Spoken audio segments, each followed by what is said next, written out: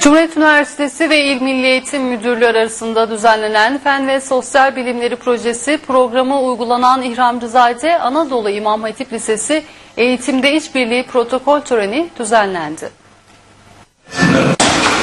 Nasıl? Cumhuriyet Üniversitesi ile İl Milli Eğitim Müdürlüğü arasında eğitimde işbirliği protokol imzalandı.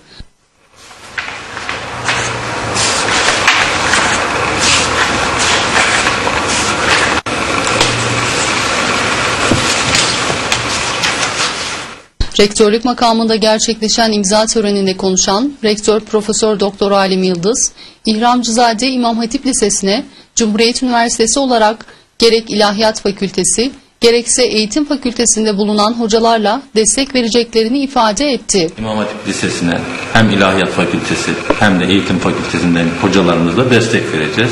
Milli Eğitim Bakanlığı'nın böyle bir isteği de vardı. Bütün Türkiye'de de yapılıyor. E, proje İmam Hatip'in hayırlı uğurlu olmasını diliyorum. Milli Eğitim Müdürümüze teşekkür ediyorum. Okul müdürümüze teşekkür ediyorum. Şube müdürümüze teşekkür ediyorum. Milli Eğitim Müdürü Mustafa Altınsoy ise konuşmasında ülke genelinde proje İmam Hatiplerin açıldığını ve Sivas'ta da İmam Hatip'in açılacağını söyleyerek Cumhuriyet Üniversitesi'ne ve hocalarına teşekkür etti. Cumhuriyet Üniversitesi'nin hem e, İlahiyat Fakültesi'nden hem de Eğitim Fakültesi'ndeki değerli hocalarımızın ve diğer hocalarımızın birikimlerinden istifade etmeye çalışacağız. Katkılarından dolayı Sayın Rektörümüze ve Cumhuriyet Üniversitesi'ne çok teşekkür ediyoruz.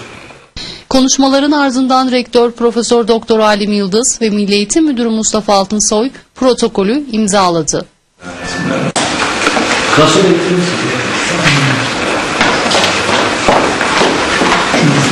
Şu